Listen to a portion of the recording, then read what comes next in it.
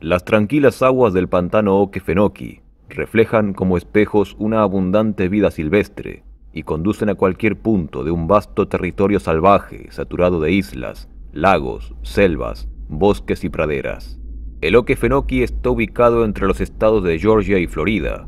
Alcanza alrededor de 1.600 kilómetros cuadrados, lo que lo convierte en uno de los humedales más grandes de Norteamérica, y se destaca por su población de caimanes y densos bosques de cipreses. Este pantano es una parte importante del patrimonio de Estados Unidos, un segmento muy bien conservado de lo que había aquí antes de que aquel país se formara. Los nativos americanos le otorgaron el nombre, cuyo significado real fue discutido, pero el más común se traduce como tierra de suelo tembloroso. El nombre del pantano se originó por los depósitos de turba, de varios metros de espesor, que cubren gran parte de la región. Estos depósitos son tan inestables en algunas áreas que los árboles y los arbustos circundantes tiemblan cuando uno camina sobre la superficie. Pero el pantano posee una parte desconocida, la cual posee una rica y abundante historia popular de hombres gigantes, misteriosas mujeres, criaturas legendarias y naves voladoras de origen desconocido, así como extrañas teorías de un continente perdido como la Atlántida. En el Okefenokee de 1895 es una obra de Louis Pendleton, en la que se cuenta por parte de un hombre una leyenda muy conocida, propia de esta región, una historia que trata sobre un grupo de extrañas mujeres que habitan muy profundo en el pantano y de la que existen diferentes versiones. Joe narró una antigua leyenda nativa que ilustraba el remoto interior del Okefenokee como una tierra alta y seca y uno de los lugares más dichosos de la tierra, donde habitaban hermosas mujeres denominadas hijas del sol. Algunos guerreros de la nación Creek, perdidos en interminables ciénagas y selvas y confrontados con hambre y desesperación, eran rescatados y cuidados amorosamente por estas criaturas radiantes. Y antes de que los guerreros fueran dirigidos fuera de los confusos laberintos y enviados a su camino, habían sido alimentados abundantemente con dátiles, naranjas y pasteles de maíz. La tribu Creek creía que el Okefenokee estaba habitado por una gigantesca raza de hermosas mujeres, un informe no tan extraño si se considera que los primeros madereros perturbaron la antigua tumba de un hombre de más de dos metros en la isla de Floyd. En otros libros se documentó más exhaustivamente las historias de aventureros topándose con estas mujeres y que no han hecho más que profundizar el misterio. Hace miles de años, los primeros humanos arribaron al pantano y se instalaron sobre una isla en algún lugar profundo dentro de su corazón oscuro. La leyenda dice que las mujeres de esta tribu tenían los ojos negros y brillantes como el onix y la piel del color del cobre. Naturalmente, los hombres de la tribu querían quedarse con estas mujeres y les suplicaron que los dejen vivir en la isla con ellas, pero les advertían que sus maridos, unos misteriosos hombres, volverían pronto de una cacería y que los matarían en cuanto los vieran. Pero los hombres no podían sacarse las hijas del sol de la mente, así que reunieron a todos sus mejores guerreros y partieron en canoas, pensando que podrían emboscar, derrotar a los hombres de la isla y quedarse con las mujeres. Al acercarse a la isla, los guerreros seminoles escucharon un horrible grito sobre ellos, como el de un pájaro gigante, uno que nunca habían escuchado antes. Al instante fueron golpeados por una gran ola desde el otro lado, aparentemente de la nada. Gran parte de sus canoas fueron destruidas y muchos hombres se ahogaron, pero los hombres que sobrevivieron se negaron a rendirse. Así de fascinante era la hermosura de las hijas del sol. Continuaron hasta alcanzar un muro de juncos altos que los separaba de la isla. Lo atravesaron, lanzando los gritos de guerra más temibles, pero cuando remaron hacia el lago donde se suponía que estaba la isla, se llevaron una gran sorpresa y decepción. La isla se había ido sin dejar rastro.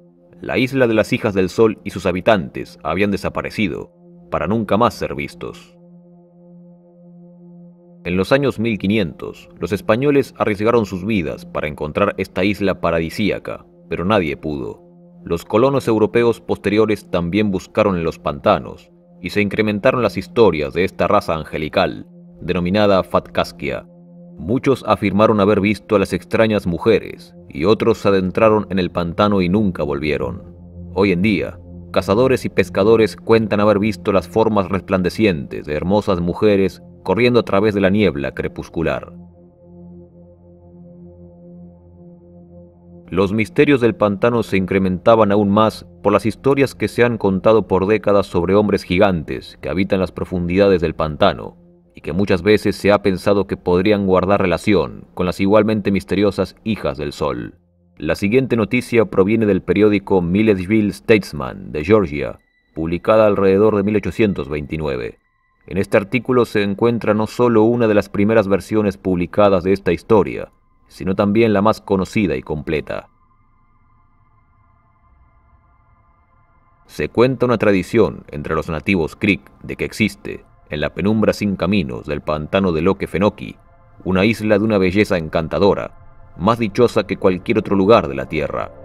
Aunque generalmente se piensa que este turbio pantano, este mar negro del Averno, no contiene nada más que innumerables enjambres de mosquitos, serpientes, ranas y caimanes, los nativos dicen que en el paraíso terrestre de esta isla habita una raza de mortales de dimensiones sobrehumanas y belleza incomparable. Esta isla, aunque solo a veces se ve, se representa como inaccesible por el atributo que posee de locomoción, eludiendo así el acceso, o de los siempre variados laberintos de pantanos y ciénagas en lo que está atrincherado, y en los que se confunde el audaz invasor que se aventura demasiado cerca de este lugar encantado. Así, Perdidos en pantanos inextricables, unos cuantos cazadores intrépidos fueron salvados una vez de perecer por un grupo de mujeres de esta isla, de sorprendente belleza, a quienes denominaron hijas del sol o hijas del gran espíritu. Luego de abastecerlos amablemente con alimentos y señalarles un camino de retirada, les advirtieron que escaparan por su seguridad, porque sus maridos eran hombres feroces y crueles con los extraños.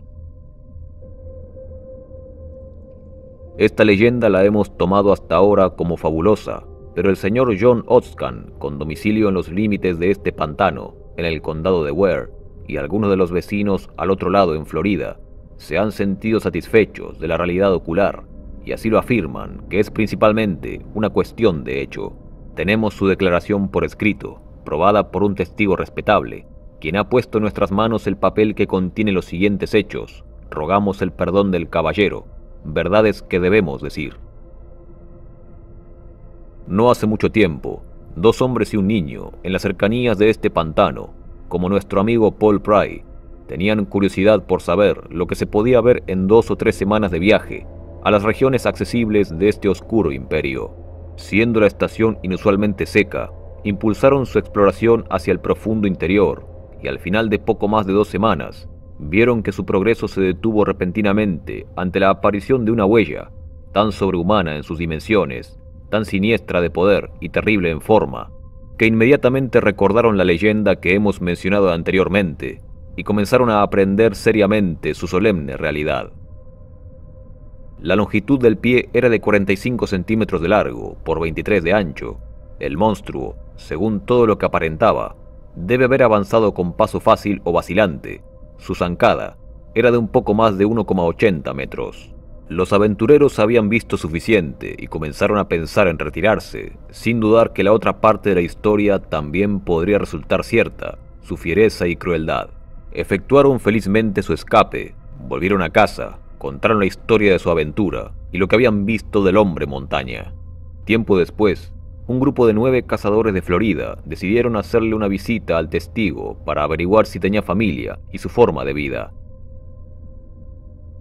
Siguiendo durante días la dirección de su guía, llegaron por fin a la primera pista descubierta, algunos vestigios que aún quedaban. Siguiendo estas huellas varios días más, se detuvieron sobre un pequeño terreno en donde montaron su campamento y se refrescaron.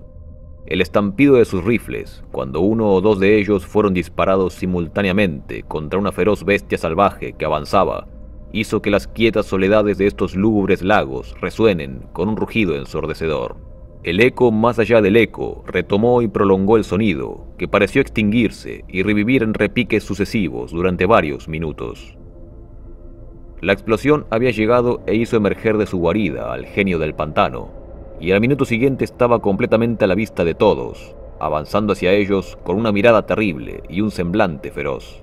Nuestro pequeño grupo instintivamente se reunió en un solo cuerpo y presentó sus rifles. El gigantesco ser, nada intimidado, saltó sobre sus víctimas y en el mismo instante recibió el contenido de siete rifles.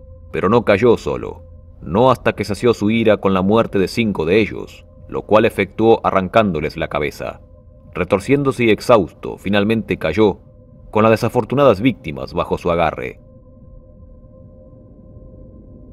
Los cuatro sobrevivientes tuvieron la oportunidad de examinar a la temible criatura, cuando yacía recostada en la tierra durante algún tiempo, revolcándose y gruñendo. La longitud era de cuatro metros y su corpulencia y volumen de proporciones acordes. Temiendo que el estampido de sus rifles y los gritos retumbantes del gigante agonizante trajeran repentinamente a otros que intenten vengarse, escaparon, habiendo asegurado los rifles de sus compañeros sin cabeza y vuelto a casa con el relato. La historia del informe, como se cuenta más arriba, es un hecho, y la verdad del mismo está acreditada, según nos dicen, por personas que viven en las orillas de este pantano y en el vecindario de los aventureros sobrevivientes. Por años se ha sugerido de que la historia del gigante de Loque Fenoki, de 1829, es de los avistamientos más antiguos de lo que hoy se conoce como Bigfoot, mucho tiempo antes de que se lo conozca por este nombre. La autenticidad de esta noticia ha sido ampliamente debatida, pero a partir de aparentes hallazgos de esqueletos humanos gigantes en los años 1920, la historia se había vuelto aún más intrigante. Así es como lo cuenta la obra Registro del Congreso, Actas y Debates, escrita por el Congreso estadounidense en 1929. En las numerosas islas existen montículos construidos por una raza que los nativos cuentan que les precedió. Los esqueletos de estas antiguas tumbas del pasado revelan que una raza de gigantes una vez se estableció aquí. Su cerámica, herramientas y armas revelan un alto nivel de mano de obra, que no se atribuye ni a los seminoles, ni tampoco a los Creek. Tal vez el Oque Fenoki surgió del mar, o fue parte de la legendaria Atlántida, que se nos dice que se hundió en el Atlántico, y estas islas, lagos y bosques son un remanente de aquel pasado desconocido. Posee el Oque Fenoki en su interior, parte de esa tierra desconocida y legendaria. Es con todas sus flores, pájaros, lagos, ríos, árboles y belleza eterna, solo un jardín abandonado y olvidado por gigantes del pasado. La ubicación actual de los presuntos esqueletos gigantes o qué fue de ellos se desconoce, y hasta tiempos actuales se han informado avistamientos de seres como Bigfoot o extrañas naves y luces por el pantano. Podría existir una conexión entre aquellas misteriosas mujeres, las hijas del sol, con aquella raza de gigantes que según se cuenta, habitan o habitaban las profundidades del pantano. Las historias son intrigantes, pero sin las investigaciones pertinentes, será difícil saber qué tan reales son.